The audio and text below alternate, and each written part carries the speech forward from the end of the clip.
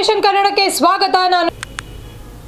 Chintamani food inspector suspend Chintamani taluk ಆಹಾರ ನಾಗರಿಕ ಸರಬರಾಜು ಮತ್ತು ಗ್ರಾಹಕ ಇಲಾಖೆಯ ಫುಡ್ ಇನ್ಸ್ಪೆಕ್ಟರ್ ಪ್ರಕಾಶ್ ಅಮಾನತು.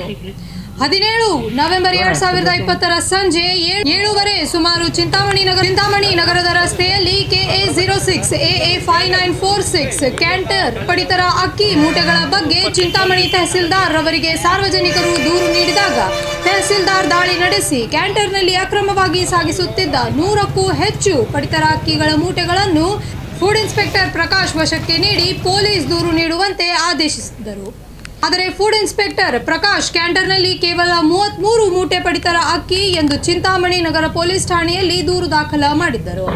ಈ ಕುರಿತು ತಹಸೀಲ್ದಾರ್ರಿಂದ ಆಹಾರ, ನಾಗರಿಕ ಸರಬರಾಜು ಮತ್ತು ಗ್ರಾಹಕರ ಇಲಾಖೆಯ ಆಯುಕ್ತರಿಗೆ ದೂರು ನೀಡಿದ್ದರು. ದೂರಿನನ್ವಯ. ತನಿಖೆ ನಡೆಸಿ ಆಹಾರ, ನಾಗರಿಕ ಸರಬರಾಜು ಮತ್ತು ಗ್ರಾಹಕ ಇಲಾಖೆಯ ಆಯುಕ್ತ. ಮತ್ತಷ್ಟು ಸುದ್ದಿಗಳಿಗಾಗಿ ನೋಡ್ತಾ ಇರಿ ದಿ ನ್ಯೂಸ್ ನೇಷನ್ ಕನ್ನಡ.